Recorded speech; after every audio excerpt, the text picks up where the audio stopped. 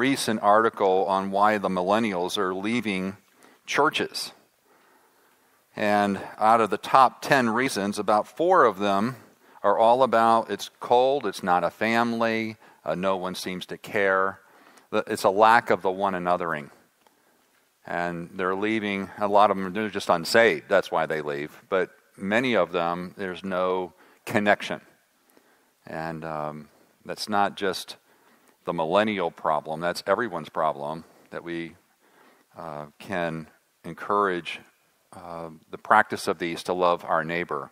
That's what it means to love your neighbor, is practice all those 35 one another's, and then you're loving your neighbor. Well, we're looking this morning at the key elements of counseling one another. And uh, these are, uh, when you get into discipleship, both formal and informal, what's involved? What, what do I need to do with someone? If they're a Christian, I'm a Christian, and I want to help them grow in the Lord, maybe I'm further along than they are in, in our walk with the Lord, and just how, what, what elements are needed, uh, what key elements are needed. And I have some introductory comments there on your notes, uh, several bullet points. And the first, I just want to make sure are we dealing with a believer or not? And that's to the best of our knowledge. Has this person truly turned from living for themselves to live for Christ? Now, we're not talking perfectly, uh, but 2 Corinthians 5 15, he died for all that they who live should no longer live for their own advantage, but now they live for the advantage of Christ, who died and rose again on their behalf. 2 Corinthians 5:15. Which way are they facing? Living habitually for themselves or for Christ. So I really want to focus in on that with people. And I want to take you to a passage here, just with that first, actually, the first and second bullet points that you have. Are they living in light of their union with Christ? But I want to take you to 2 Corinthians chapter 11. We don't usually see Paul afraid much, but he says here he's afraid when he writes to the Corinthians. 2 Corinthians chapter 11, verse 3. He says, But I'm afraid that as the serpent deceived Eve by his cunning, your thoughts will be led astray from a sincere and pure devotion to Christ. Now, you want to know what Satan's great tactic is? It's that one right there. Uh, just take your thoughts away from Christ. So your thoughts will be led astray from a sincere and pure devotion to Christ. For if someone comes and proclaims another Jesus, than the one we proclaimed, or if you receive a different spirit than the one you received, or if you accept a different gospel from the one you accepted, you put up with it readily enough. And then he talks about false teachers, the super apostles that he had to deal with there in that passage. When I was young, I, I was enamored, uh, grew up with three other brothers, and I was just enamored with magic. I thought that was a lot of fun and trick people. I couldn't figure out how people they did think what they did uh, when I'd watch TV and watch magicians. And so I started doing a little reading on magic, and it's the art of deception and distraction. All right? I mean, for the most part, uh, the greatest um, magicians, and this is written by a magician, uh, the way to magic is misdirection. A good magician is skilled in directing an audience their attention where they want it to go and so then they can do their their trickery and i thought how interesting that the art of distraction and satan is a master at that of trying to get our attention away from christ and some people have a different Jesus that they're following than the Jesus of the Bible. I was on a plane flying from Louisville to Atlanta, and this young couple was sitting next to me, and I had my Bible. I was doing some grading. They said, Are you a Christian? I said, Yes. And we are too. And we're just newly married, and so we're talking for, you know, 15 minutes, and I think I'm talking to some a brother and sister in Christ I had not met before, and I said, um, "So are you from it?" Um, I'm sorry, going from Louisville to Dallas. I said, Are you from Louisville? Are you from Dallas? Are you going through? And they go, No, we're from Dallas. I said, Well, what church do you attend there? And they said, A Kingdom Hall. Oh, my. Okay, we're talking about a different Jesus. So now I had to reel it all back in and explain uh, your Jesus that you talk about is not the Jesus of Scripture. We've got, we're, uh, uh, and then it was a rough ride from there. but it's so important when we're trying to minister to people. Are we talking about the same Jesus? Are we talking about the same gospel? And so I would encourage when you are ministering to people on a regular basis, not sometimes just in the first uh, getting acquainted, but if you're going to seriously help them in a discipleship fashion, that you clarify terms, you walk through the gospel with them, just dialogue through the gospel with them. And uh, last night there was a I think, a footnote in uh, the first set of notes for the 180 uh, website, and there's a free download of an outline you can walk through. There's a whole PowerPoint you can download that just help people walk people through from, from teens, I mean, ki- kids on up to adults. You know, there's only one gospel. There's not a child's gospel and an adult gospel. Uh, there's just one gospel. So don't dilute it. Uh, don't abbreviate it. It's adult like content that solicits a childlike response. The gospel of Jesus Christ. So, as best as we can, we're trying to find out where is this person at? That's the foundation that we build on. Are they believers best as we know? And there have been people that, um, well, actually more than I like to count, that I, after hearing their testimony, after walking through the gospel, they say, Yes, I am. i am trusting in Christ. I haven't been living like it, but yes, I want to follow him and trust him. And I'm going, Boy, your whole I mean, several years here do, does not reflect that. But I'm not to judge this one. Uh, God knows their heart. Maybe they haven't been discipled. Maybe they don't know how to change and grow. Some of the things we went over last night. They, they don't, they've been letting go and letting God, and they haven't grown. So I say to them, I will take you at your word, at your profession, unless your habitual actions or attitude deny your profession. In other words, fr- there's no fruit. And it's not a snapshot, it's habitual.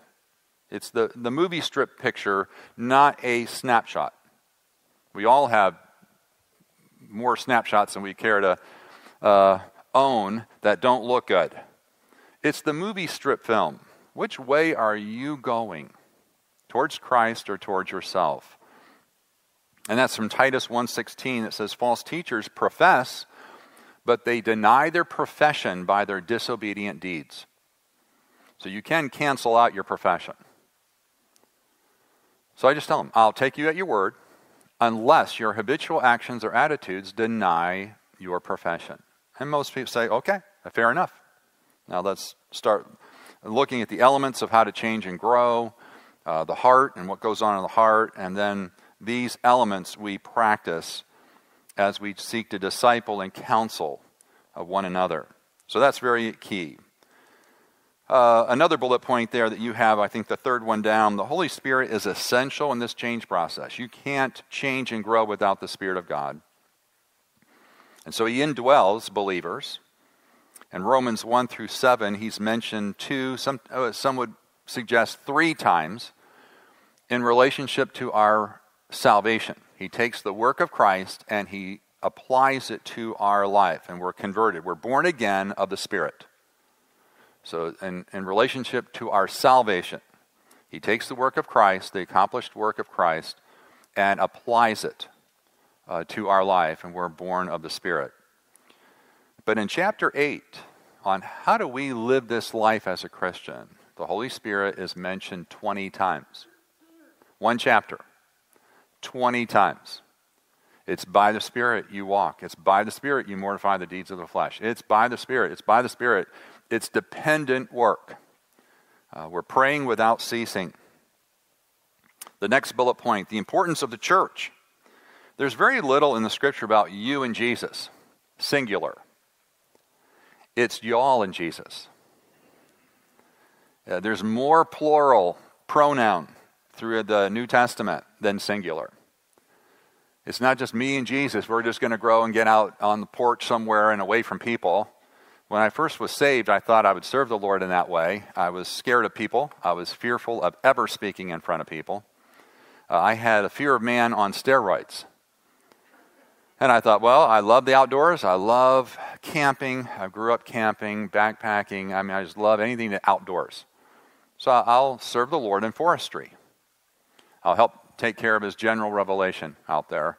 And I'll look for smoke and be away from people and around animals. That, that was kind of my, my quest. I was, okay, oh Lord, I'll serve you, but out there. And he had other plans, and uh, I'll talk about that in uh, the last session.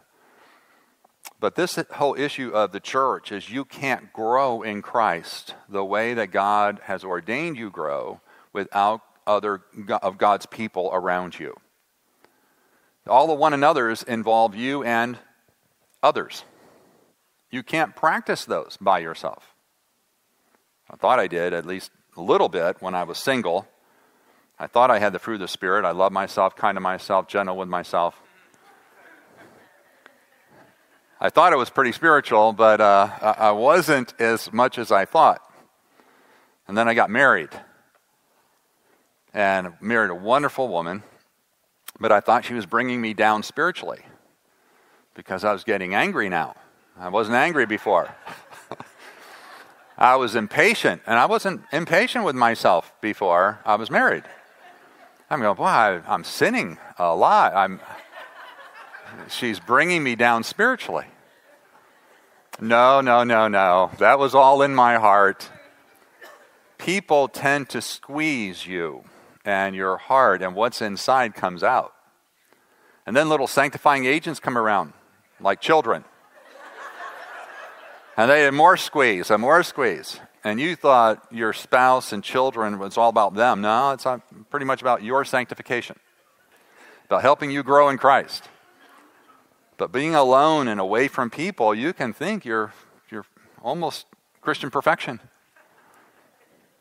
So we need the church that's the body of Christ. Very, very important in this whole process of caring and loving Christ. And you can't love Christ and grow in that relationship without growing in your love for other people. 2 Thessalonians 1 3, Paul commends the Thessalonians. He says, Your faith is increasing, and so is your love for one another. When one goes up, the other goes out. You can't have people close to Jesus and tight with Jesus and can't stand people. That's you're, you're misguided. It's a counterfeit walk with Christ. The next bullet point is the importance of meditation on the Word of God and prayer, just the spiritual disciplines.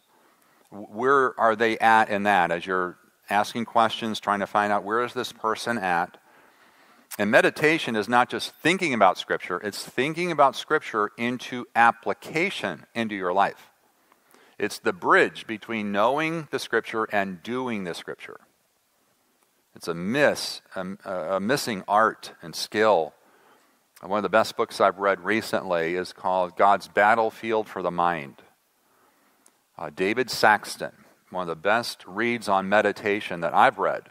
And it takes a lot of the Puritan works. And uh, if you're not meditating on Scripture day and night, you're probably sinning and giving into the flesh in some way. It's just that kind of importance that the scripture puts on it. And then the reality of a spiritual war that we're in, a spiritual battle. When we're seeking to help other people, get ready. This, the enemy does not want this. The, bo- the, the enemy does not want the body of Christ to grow.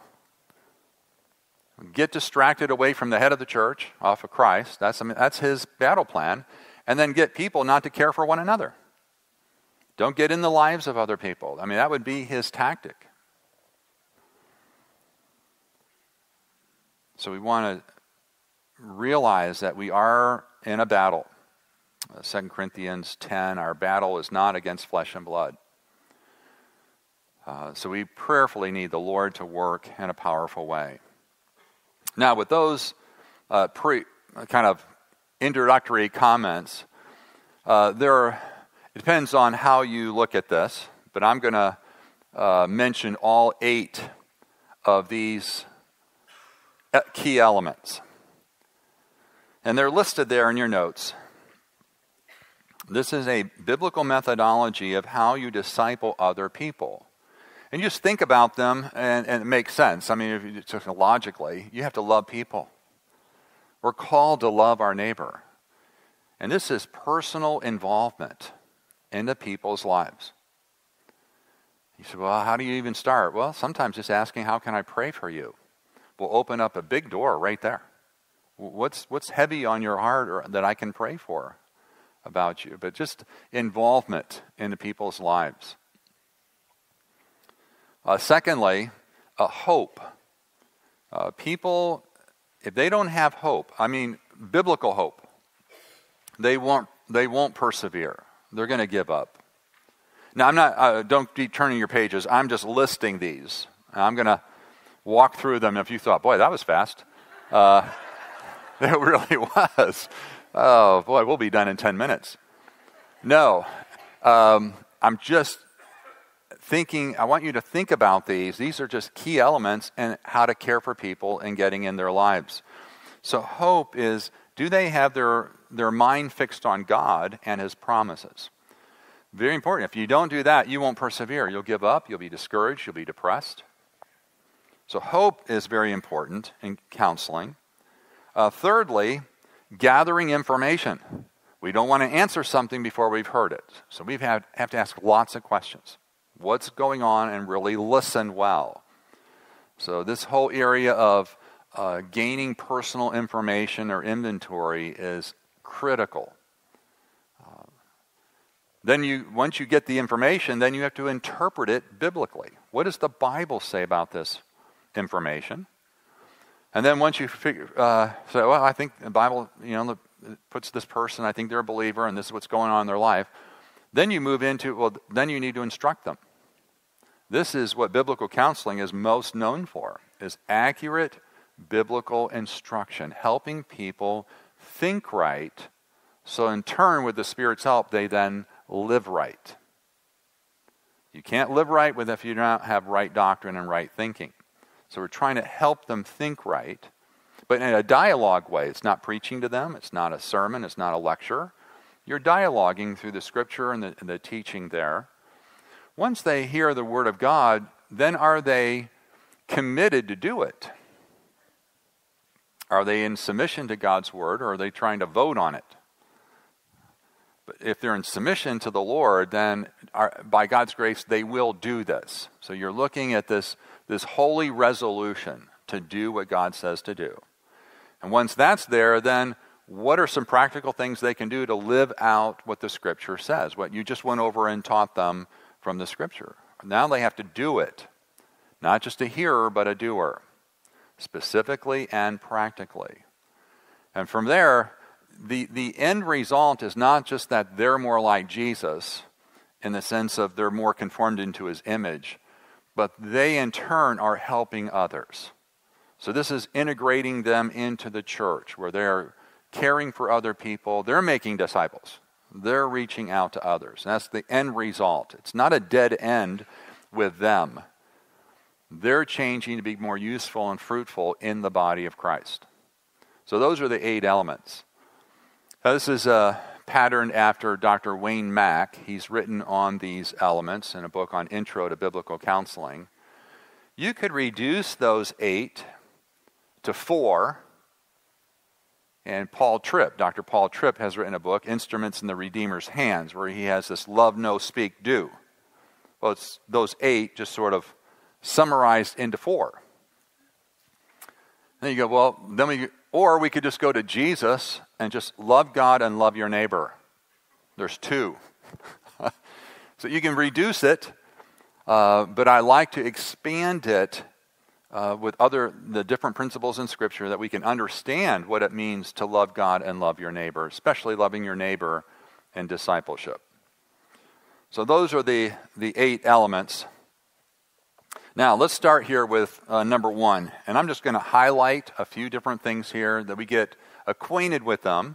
For some of you, some of you have been teaching this material, maybe in your church or in small groups. Uh, so it's just reminding you, uh, and it's good. I, I teach this every year. Uh, I, we have a whole course just on this lecture. So th- there's a lot of hours of instruction and illustrations and uh, videos of uh, counseling going on where people are actually implementing these. We really want to make sure we're discipling well. It's a practice and a skill you can get better at with the Lord's help. And I, I like teaching it because when I'm counseling, uh, I'm, these things are coming to my mind and it's good. I'm not forgetting as much as I used to. So I like teaching this material, even for that reason. Uh, involvement in care, I don't know that I need to spend a lot of time here uh, to convince you that we need to love one another better than we have been. And in our uh, culture and just in our society, it's not getting better, it's getting worse. It's, it's much more private and individualistic than it's been in years.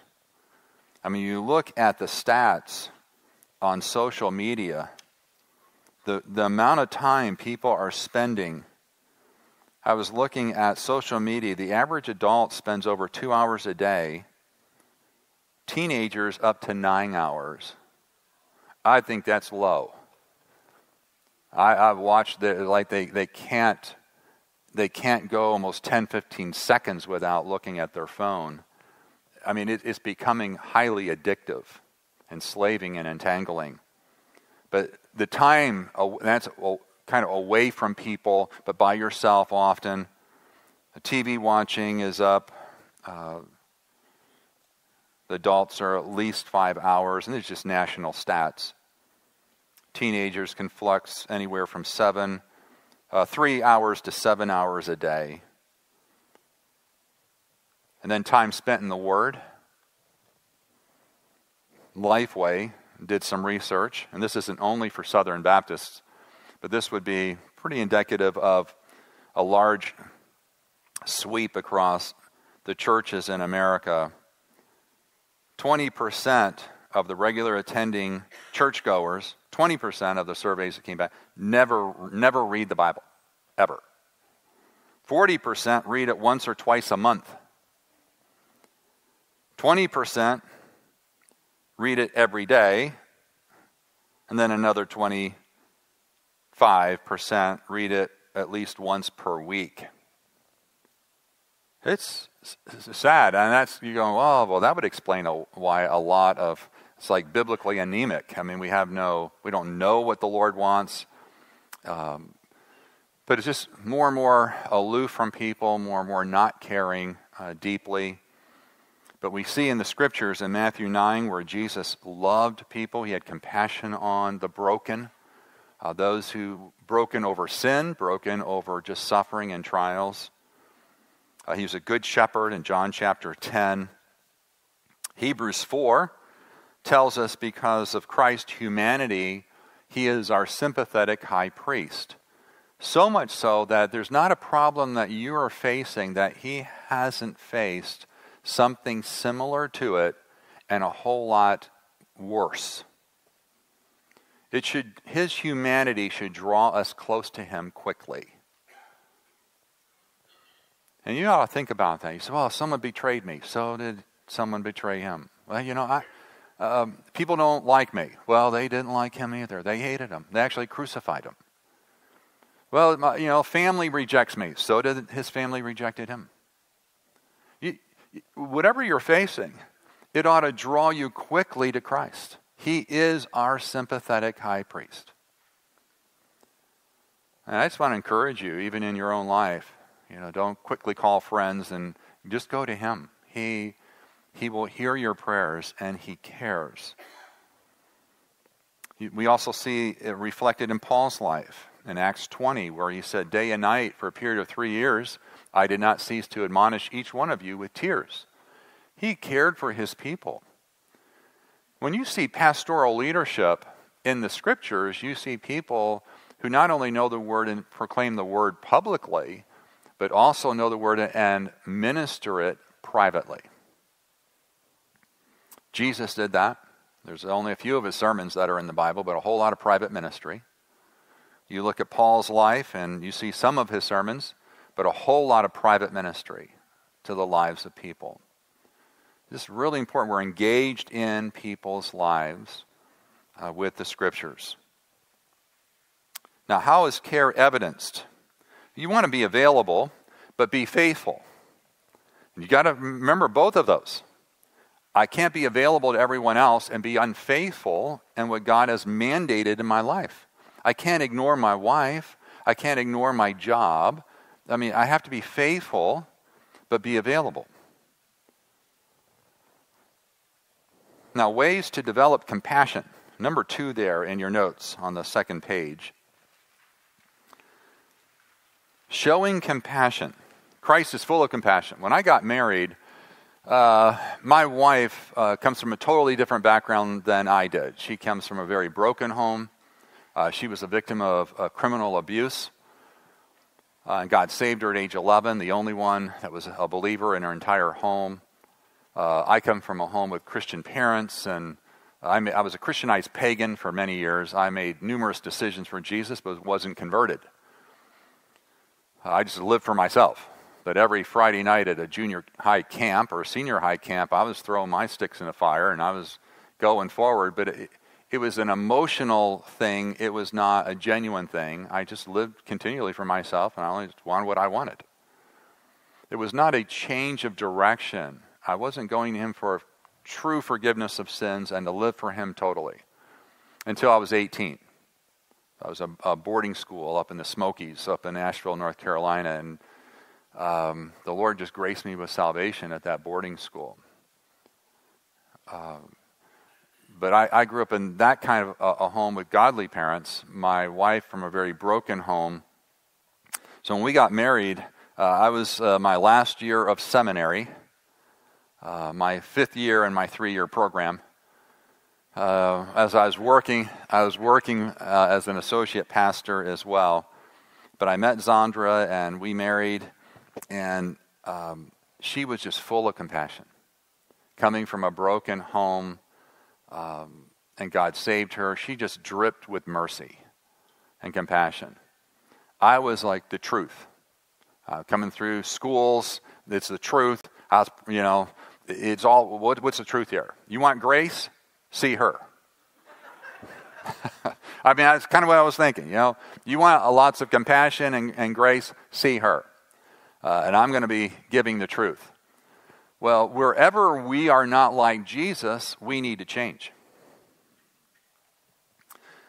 We, we can't refer out for those qualities. You want compassion? See her. No, I have to learn to be compassionate.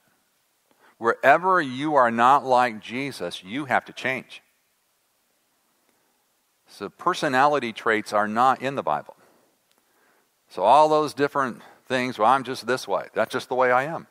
You know, I'm just the dominant A type. I just run over people. Well, you've got to change because that's sinful. Wherever we're not like Jesus, we must change. So I had to learn to be compassionate. I took one of those personality tests and I scored really low on compassion, and it was on sympathy, but I didn't care.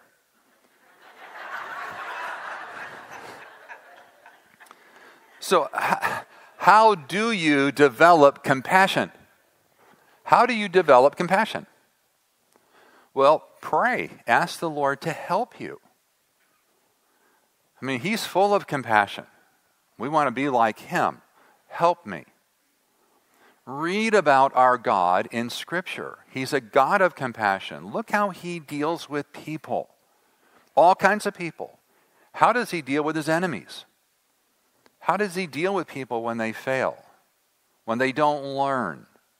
I mean, you watch Jesus in the gospel, just follow him as you read, and you're just going to see compassion incarnate.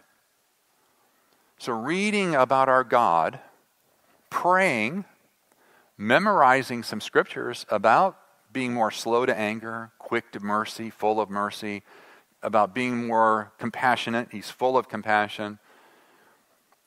Uh, follow around individuals. Be close to people who are compassionate. Don't just have a clique of people like you. Branch out and get close to people who are full of compassion. It's, it's a lot of it's modeled, and they can help mentor you. Be around people who are hurting and ask yourself, what would it be like to be in their shoes? When I started counseling and people would say what was going on in their life, I thought, wow, that's got to be hard. I didn't, I didn't grow up like that. I, I didn't experience that. What would it be like to have done that? That helps you be compassionate. So it's just reading about people who've been uh, who are compassionate, even biographies. But I would say I've I've watched it in my wife uh, of her care for people, and when I'm ready to cut a tangled up relationship and rehook, uh, she's pressing on and working with the person and watching God just make a trophy of His grace, but just long suffering, compassionate. Um, if you don't have that around you, find it. There, there are people in your church who are full of compassion. So I would just encourage you: don't just say, "Well, I'm just that's just not the way. That's you know not who I am." You need to become that, full of truth and full of grace. Jesus came full of truth and full of grace. A few other things here, and I won't cover all of them. I want to move down as you're getting involved with people, and in a formal way, if I'm meeting with someone in a formal way, you want to observe limited confidentiality. I don't ever promise total confidentiality. If someone says, you know, I want to tell you something, but you can't, you have to promise. You won't tell anyone else. I can't make that promise. I would be violating Scripture to make that promise. So you have to trust me. I will keep it as confidential as Scripture allows me to. But if it's a criminal act, I'm going to go to the police. If it's um, an unrepentant church member in, in sin, I'm going to go talk to the elders. Uh, the, the leadership needs to know they're under authority there. If it's a, a, a minor, a, a child, and they're doing some things that their parents need to know, the parents are going to know. We're under authorities. And so there's no total confidentiality. You, you promise that, you're going to get in trouble. To end up probably lying because you will end up telling someone because you go, I, I can't, someone needs to know about this. So just biblical authorities. Number 11, again, I'm just skipping on these. There's no fill in the blanks, so you can uh, number 11 is remember when you're helping others, God is also working on you. Uh, the Holy Spirit does not take a sabbatical on your sanctification for an hour as you meet with someone. Doesn't say, well, Stuart's fine for an hour here. Let's just work on this person. No. It's amazing the people that God brings across my path You say, uh, Can we talk? Can I, uh, there's some things I need to work on. I'm going, now I'm asking, Lord, I wonder what areas of my life need I need to shore up. I need to uh, get it more in gear. Maybe I'm coasting in some areas. Uh, he's working on our sanctification. I mean, I have sat across some people and I've watched in marriage counseling a wife saying, he just doesn't get it. I said, get what? Well, I'm trying to explain this to him. And then she explains it, and I'm going, I've heard that before just the other day. Zandra was trying to tell me that. Uh, you know, it's it, our growth as well not just their, their needing help. But just getting involved, but being faithful. Don't overextend yourself so that now you're unfaithful in mandated areas of your life. You just you have to be faithful in everything. I'd love to, but I can't right now. There's some things I have to say to people. I'd love to, but I can't right now. I can only counsel so many and then supervise so many and still maintain everything else in a faithful way but be available. Number two, hope. Hope. If you don't have hope, you don't persevere. And you can lose hope, at least not positionally hope in Christ, but you can lose it uh, on your focus in your mind. Even in Peter, the apostle Peter says in 1 Peter 1.13, you, you need to fix your hope back on the, the revelation on, on Christ's soon return. You need to get your eyes back upon Him. The psalmist says, uh, Soul, why are you in despair? Soul, hope in God. So we can, we can kind of lose focus off of God and His promises. Now, how to inspire hope? It's going to come through the scriptures and looking at the person of God, who He is. Not what you think He looks like through your circumstances, but who He says He is.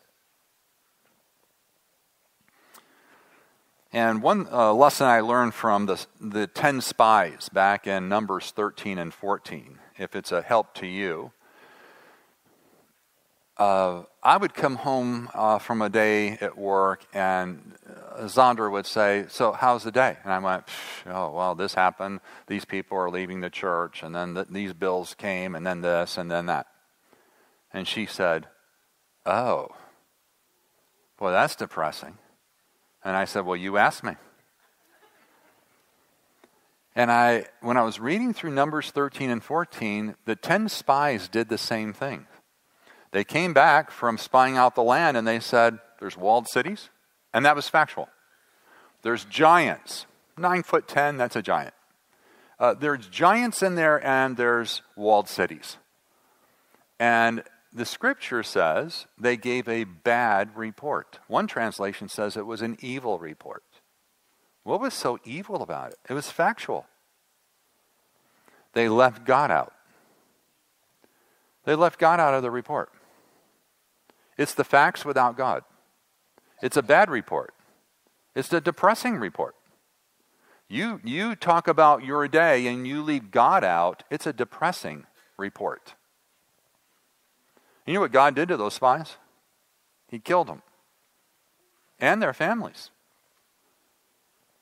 But Joshua and Caleb didn't deny the facts. They're walled cities, Jericho. There's uh, giants, David and Goliath. I mean, there, there's some big people there. Uh, there's giants and there's walled cities, but God. God told us to go, so let's go. And He's with us. And they were blessed. If you want to watch evil and bad reports today, just watch the news. It is depressing, isn't it? It is very depressing. Well, for more reasons than, than just, they're not even reporting the facts. I mean, uh, but, but the news without God doesn't give hope. You need to say at the end, if you watch the news at all, but God. But God is in charge of this. Everything's moving the way God has, has ordained it to move. He's working, He's building His church. You have to add but God, and that brings hope. Very important when I'm listening to people do I hear but God? And so I've said to Zandra, if I ever say, you know, this is what's happening, and I, I don't bring in but God, would you please remind me that it needs to be hope filled? I don't know what's going to happen here. We're, we're in a, a, an issue right now. My wife and I, we're trying to deal with uh, a particular situation. And if I just think of the facts without God, it's very depressing. But if I think of the facts, I, I don't know what God's going to do, but He knows, He cares, he, He's going to answer in a way that brings Him glory. I have hope. My hope is in God and His promises.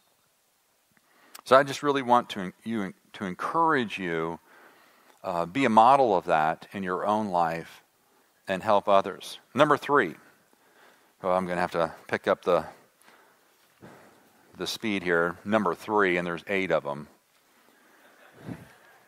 Uh, inventory, it just means ask lots of questions. Lots of questions. And I put here, uh, let's see here, diagram right there. You have intensive and extensive questioning.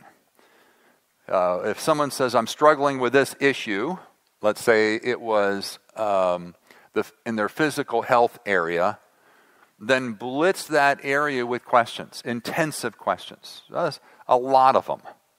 Uh, tell me all that's going on, how long it's been going on. And we're not a doctor, or maybe some of you are, but I, I just want to know what's going on in the outer man and encourage you to see a physician and tell him or her about that. But then in the inside, just questions in every area of their life. No issue is isolated. How's this affecting your relationships? How's it affecting you at work if you you have a job? How's it affecting you at, in your schoolwork? I mean, all of the different areas of your life are affected. So, probing intensively the area that they say they're struggling with, and then some questions in every other area, that takes time. And you can't do that in 10 minutes. It just takes time. And what I have found, people don't mind spending the time talking about what's going on in their life. I found people don't get tired talking about themselves.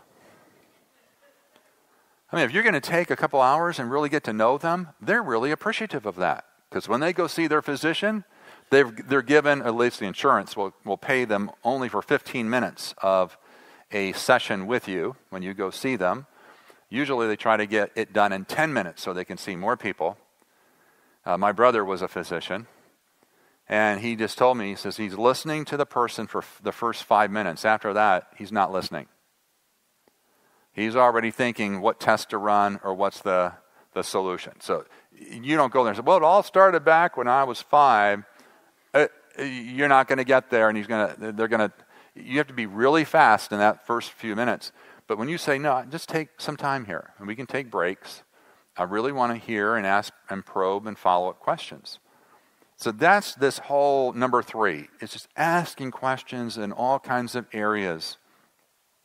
I did put a thing there relevant questions. Stay on track with what they said they're struggling with. Don't go off in curiosity. I did that once with a guy, he just was enslaved to ice cream and ate a lot of it every night. And he said, I, I need self control. And I said, Well, okay. Uh, he was running marathons. I thought, um, So this ice cream, oh, yeah, it's the best kind I've ever had in my entire life. What question do you think I asked him that I didn't need to ask?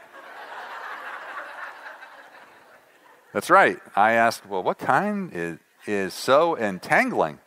And he told me, I didn't write it down. But on the way home, Zandra said, Could you stop and get, she called me, Can you stop and get some bread for supper? And I said, Sure. And then I went to the frozen food section. I'm looking. What kind of ice cream has a hold on people like that? And I found, a, I found the, the, the brand, and, the, and you're probably thinking, What kind was it? I got a little, a little pint of it, went home, put it in the freezer. I didn't tell Zandra about it, didn't want to cause her to stumble. I ate it that night and I thought, oh, this is the best stuff I've ever had. then every time I'm at the food store, I'm buying a bigger quantity, and I Zandra said, "You got, you got to taste it." I mean, I, and she said, "This is unbelievable." I'm still meeting with this guy, and he's going, "Boy, it's so hard." I'm going, "Yeah." Finally, I had to just stop uh, going down that aisle uh, before it was becoming a habit.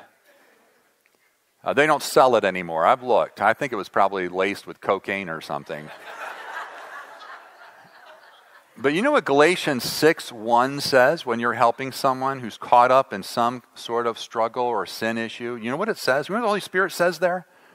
Be careful, lest you too be tempted. So we've got to really be careful of our questions uh, of our own walk with the Lord, even when you're listening to people and things that are going on in their life. So, just asking uh, all kinds of questions, getting the information. I want to go to number four. Oh, there's so much more I would want to say here, but I, I, the time just doesn't permit. Biblical interpretation. Now we're looking, what does the Bible say about who I'm talking to, where are they at with Christ? What are the issues going on in their life? What does the Bible say? Uh, now, Jesus is our normal. Wherever we're not like Jesus, we're not normal. You don't compare yourself to 99% of the population. Well, everyone else is doing this. That's not biblically normal. It may be culturally normal, but it's not biblically normal. Jesus is our plumb line and the Bible is our standard. But our culture says it's okay. The Bible says it's not. So God, what God says is truth, and that's what we adhere to, and Christ is our standard.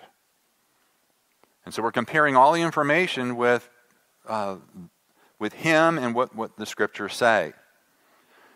So we're looking for themes and patterns. It's uh, letter B there under uh, number two. Just are there things in their past that they've grown to be habitual in particular areas? I'm trying to use uh, biblical words if at all possible.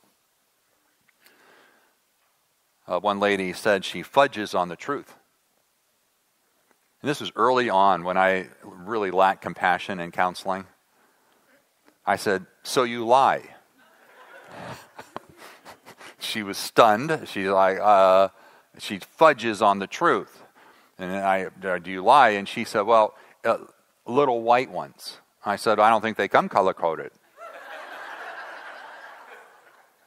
but I had to grow in compassion. But the truth she needed to hear it's lying, it's a sin and needs to be repented of. Don't, don't excuse it. So I try to stay away from psychological labels if at all possible. When they come in and they've got all of these initials for all kinds of issues in their life, I'm just asking, so tell me what's going on. Tell me what's going on. Tell me about your behavior. Tell me about what you're thinking, what you're wanting. And I just try to steer away from all those labels because often they take them on as their identity. You know, I'm just bipolar. That's who I am. You go, no, tell me what's going on. So trying to ask more questions, and when they tell you what's going on, the more you know the scriptures, the more you go, oh, the Bible talks about that. The Bible talks about that. The Bible talks about that. And addresses these issues. And so we want to put the data on a witness stand and ask questions. Where are they at with Christ? We want to do they understand? This is letter C under number five. Do they understand how to grow and change? 80, I think at least 80% do not know how to grow and change as a Christian. They are, they are very much passive in their Christian life. Let go and let God. If you go all the way down to the letter L under number five on page five, is there anything about their outer man, things that they're telling you that seem like they need to go get a good medical checkup? There's things that they're saying that happen that they can't sleep at night. I'm going, well, what are you thinking about? I'm not really thinking about anything, but after a while, I start thinking, I need sleep.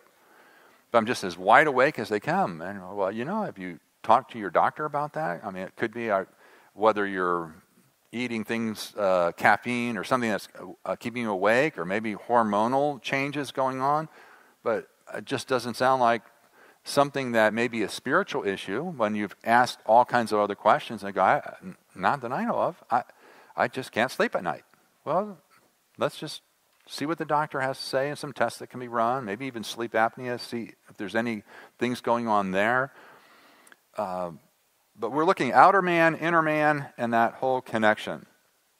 And then you want to distinguish number eight down at the bottom what's real fruit and what's root. What's the heart? What's out into behavior? When I say heart, I'm talking about what a person wants and what they think. What they want and what they think. That's root. That's heart. Out of the heart come flow the issues of life. Behavior flows out of our heart. And then there's a strategy and a plan. My first sessions, I'm usually just trying to uh, gather information and give hope. And then I'm wanting to go over the gospel with people. And then I'm wanting to explain the heart and what goes on in the heart. And then I want to say, okay, this is where we're at. This is where we need to go. Do you know how to change and grow? And I want to cover those areas. And then I want to uh, keep taking one issue at a time and start working it through in their life. It's. It, it, counseling is highly the, uh, theological. It's not psychological, it's theology. It's who God says man is, man's problem, and man's solution. That's theology. So anyone says, I want to study psychology because I want to help people. Oh, I'm glad you want to help people, but you need to study theology. That will help you understand people, people's problems, and people's solutions. And what you can see here is when I'm going over all of this stuff, you don't need a PhD to understand this. It, it's biblical counseling uh, it, it's simple, but it's not simplistic. It, there's a lot to cover with people and trying to help them in a, in a Christ like way, but you don't need a PhD to understand it. So it's simple, but it's not simplistic. Yeah, we're trying to do a thorough care uh, on, uh, for people. Now let's go into number five. Boy, I'm. Whew. Uh, accurate biblical instruction. This is where we're trying to help people uh, to think right, to believe what's right. Now, this is a challenge because of the statistics that I just read earlier. How much time are people in the Word? Very little overall. You, you all would be the exception. Overall, people are not reading the Bible. So they're not thinking the way God wants them to think. So we have to help them. They're not living right because they're not even believing and thinking right. So we've got to put in their mind truth or stir them up to remind, remind them of truth they've been taught. So as I'm looking at this, I'm just going to highlight a few items here. I go to number uh, letter C, uh, number three, letter, there's A, B, C, and D. It's on page 7. When we instruct, it has to be biblically accurate. We really need to be good students of Scripture and keep growing in that skill. And I'm so thankful that you're coming, so many of you, I don't know all the different churches represented, but where you have faithful teaching and preaching of God's Word, where they're really seeking to be accurate with the Scriptures in the context and verse by verse kind of thing. But know the meaning of the words that you're using from the scripture. So if you're going to talk about love, you need to know what love is biblically because the person in front of you is thinking love languages. Love languages has nothing about the gospel in it. The whole book doesn't even cover the gospel and doesn't even mention the Bible. It, it's more of, I give to you something and you give something back to me. It's sort of, uh, I'll scratch your back if you scratch mine.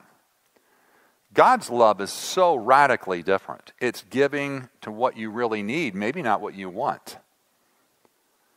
And it's sacrificial kind of love. I will give even if I don't get anything back. It is so not like the world's kind of love. So know the meaning of important biblical words and determine that meaning, letter B there, in the verse, the passage. Know the verses before and after so that you get the proper context.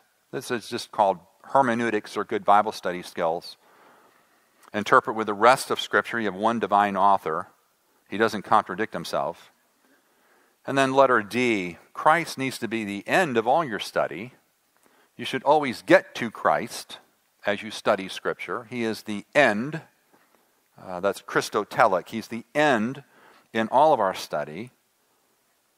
Number seven, when you instruct, be sure you're differentiating between what God commands and your suggestions. Uh, God's commands are very important. You don't vote on those. But there's many applications. And sometimes in our own lives, our applications can get on the level of a command. And this is the way you have to do it. You're going to love your wife, you have to have date night. Date night is not a command in the Bible, it's an application. And there's thousands more. But don't say, a way has become the way of loving my wife, and this is God's way to love my wife. And that happens in so many venues. There are tons of these kind of issues. As parents, we're to raise our children in a way that honors Christ. We need to have discipline training. We need to instruct their hearts. I can't save them. You can't save your kids. You can't sanctify them or save them. That's a work of God. So we're to instruct them, we're to discipline training. Now, there are many ways to do that. Some people will send their kids to public school. But they, at home, they are working hard. at doing exactly what the scripture says to do as parents. Some send them to Christian school, some homeschool. But you dare not put a way. This is the way to do it, and it's the way, and now this is only this is God's way. If you don't do it this way, you're sinning. No, no, no. The command is be faithful in teaching and training. That's it. So a single parent can do that. Just be careful of a way becoming the way becoming God's way. Very destructive in lives and churches. Uh, I, I listed several places you can get additional training. If you want additional training, I mean, there's all kinds of venues to uh, learn more and more about how to disciple others in a counseling kind of way, in an intensive way, better. There's schools, there's training centers. So I listed several, and there's even places where people can go and get some serious help and live there. And what they get is biblical counseling, but it's at a facility, whether self harm uh, or drug addiction, alcohol. There's uh, a few places there that I listed if someone has to go live somewhere for a while. Then we need to meditate on the scriptures. Number six, on page nine. Sorry, I'm, I'm moving fast. I'm already over time. Number six, this is the holy resolution, and I listed a few passages there, but if you want to look at a couple, uh, Psalm 101 and Psalm 108. I wish I had the time to look at that. David's saying, I will do this, I will do this, I will do this, I will do this, I will do this, and I will not do that, and I will not do that. He engages the will by God's grace, I will do what God says to do. It's not whether I feel like it or not, it's the right thing to do, so I will do it. A lot of you got up out of bed and are here t- this morning. It wasn't because you felt like it. You said, This, this is going to help me grow more in my life, my relationship with the Lord. Uh, it's the right thing to do, it's the most helpful thing to do, but you went against feelings. You can't trust feelings, and you shouldn't be led by them. So that's what we're after when we're talking to people. I just want to know that you're going to do what God says to do by the help of the Spirit. Then, number seven, homework or implementation, or some people call it growth projects. All kinds of homework assignments that you can do.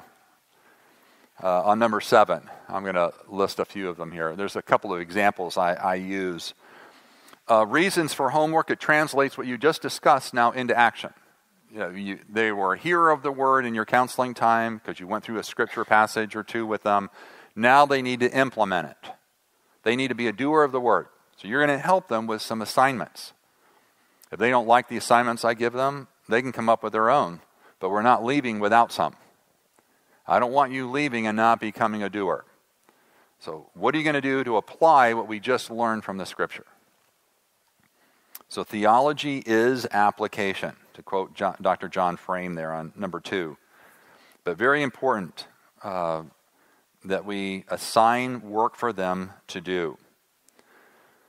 Uh, the first thing, I'm going to skip right over to number 12, and that's not a misprint. I would have put a 300 font that didn't waste paper or waste trees. Scripture. Don't miss using Scripture and helping people in the counseling. I mean, for homework.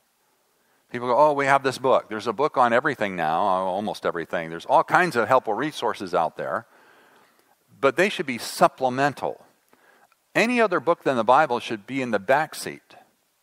And you can refer to those, and people can walk through those. That's great. But the Scripture is front and center. This is God's Word it's what he uses to bring sanctification. Assign them uh, something to study and think through and observe and put application points. Memorizing and meditating on the scripture. Then you can use pamphlets and books and various other assignments. One I use is a, a journal gathering information. This was a guy who was angry a lot. He said, I'm angry all the time. I said, Well, this week, actually, I gave him two weeks. We were gone for two weeks. I gave him two of those exact homework assignments there. And would you just put an X where, where when you just, oh, man, I'm angry. just put an X there. And then on the back side, tell me what was going on, just brief points. What was going on, who was involved, what you were wanting, and how it was resolved. That's why just on every one of those times that you get angry, what was the circumstance, who was involved, what was I wanting, and how was it resolved? And he came back with his wife because he was an elder at a church, and he, he says, I, maybe I need to step away from being an elder because I'm angry all the time. And he put down two papers that looked almost identical. And he says, We noticed something. Yeah, I do too. He's not angry all the time, he's a weekend warrior. Friday night, Saturday, and Sunday, there's a lot of anger going on. And as I turned it over, he was telling me, I've got a real problem with my number three son. And then I have a problem with my wife because she, she kind of stands up for my number three son. And he is not what the son I wanted. He doesn't do what the other two boys do. And they were older. Uh, this number three son was in his late teens. The other two were in their early 20s. And this was a family that was all committed to outdoors, lock, load, spit, chew. It was sports. Uh, I mean, sportsmen, uh, hunting, fishing. And this number three son, God in his wisdom and providence gave him a son. Uh, he had a bow but it went with his violin. And this was unacceptable. Unacceptable.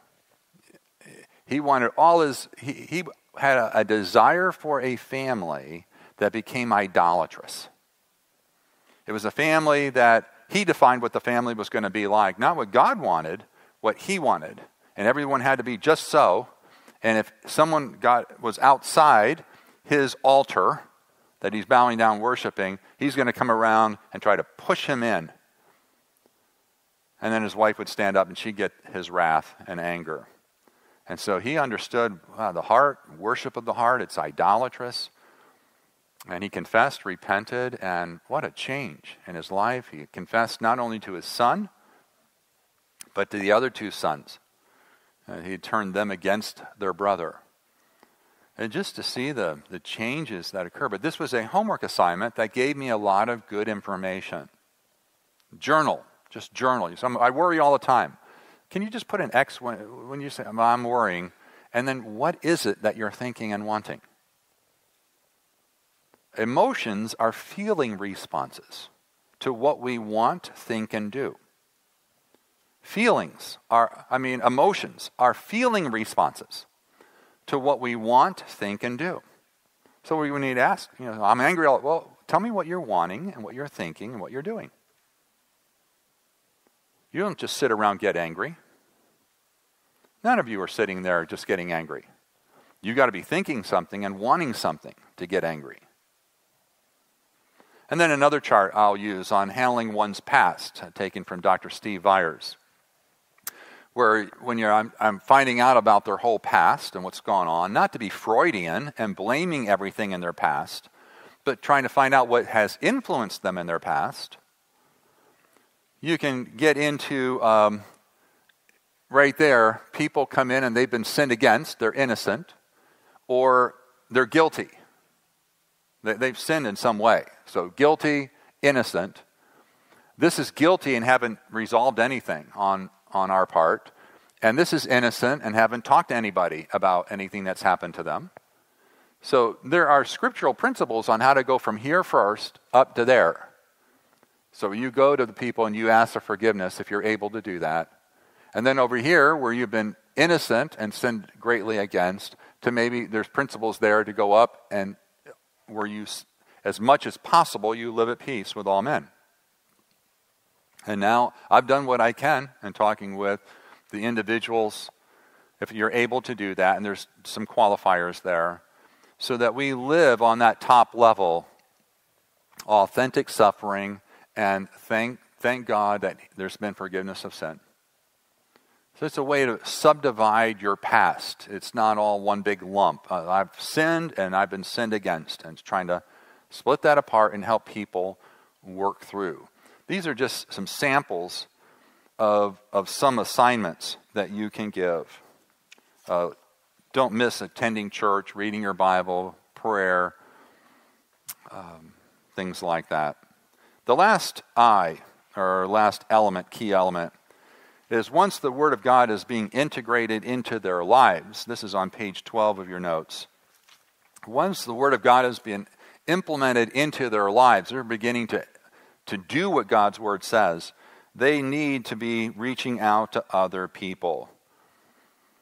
And you can tell when a person, I, am backing off now, I'm only meeting once a month, and then I don't meet anymore on a regular basis when they uh, can tell me what happened, why they came in for counseling, what they did to change with the Lord's help, uh, and now they are interested in helping other people. This, you're more useful and fruitful than you were. Praise God, we don't have to keep meeting like this on a regular basis. So I know it's time to graduate them.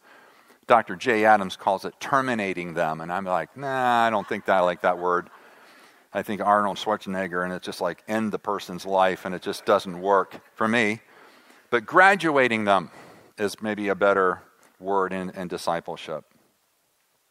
And in conclusion, there at the end of um, page 12, all that we do uh, is to be done with the help of the Holy Spirit within the church, the community of saints, and it's all for the glory of God. Uh, we're helping others because we're concerned about God's glory and their sanctification as we're growing ourselves. So, whether you take eight elements, key elements, or you reduce them to four love, know, speak, do or you reduce it to love your neighbor, it, it's all one and the same.